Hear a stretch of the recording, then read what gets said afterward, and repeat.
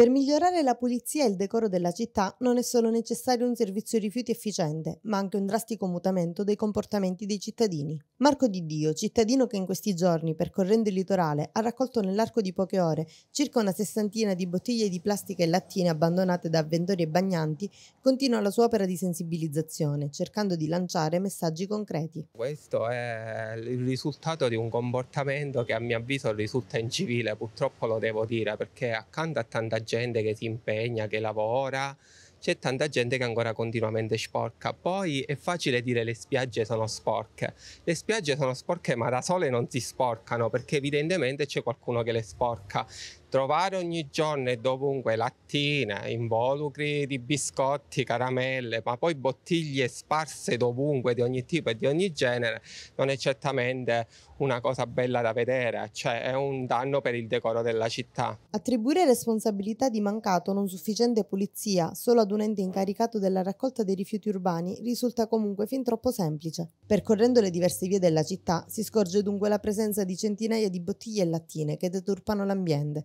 lasciate da chi magari ha trascorso serate allegre in compagnia di amici. Impianti può fare tutto quello che vuoi, gli operatori lavorano tantissimo, ma se la gente sporca il doppio il tipo di quello che deve sporcare e continua a farlo, l'ente può arrivare dove può. È chiaro che poi ci vuole una forza lavoro maggiore, quindi i comportamenti singoli devono fare la differenza. Se io ho un comportamento civile e aiuto l'ambiente, aiuto a non sporcare, sicuramente l'ente ne gioverà e potrà fare un lavoro migliore.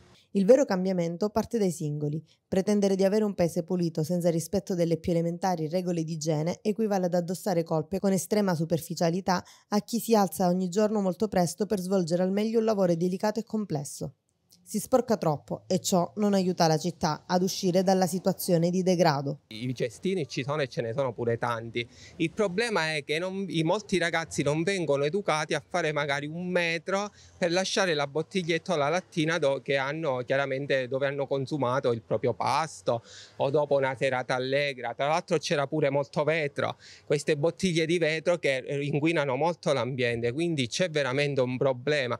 Il servizio sociale è anche questo, il servizio sociale non è solo assistenza, anziani, disabili, ma anche dare all'ambiente decoro affinché il bambino, l'anziano e il disabile possano stare in luoghi tranquilli e igienicamente sani. Marco più volte si è recato in diverse zone della città per pulire e raccogliere rifiuti abbandonati, ma anche per accendere i riflettori su servizi delle collettività lasciati al loro destino. Il bagno della villa, io mi sono battuto per la bellezza di 11 mesi su questa tematica. Io spero che questi bagni prima o poi vengano aperti perché gli anziani hanno problemi spesso di incontinenza eh, a livello vescicale. Parliamo di un aspetto anche san- igienico-sanitario. Quindi non possiamo lasciarli da soli. Io chiedo veramente faccio appello al sindaco ma a tutta l'amministrazione affinché questi bagni che sono nuovi, ristrutturati, quelli maschili vengano riaperti e quelli femminili, laddove c'è ancora da ristrutturare, venga questa ristrutturazione fatta al più presto.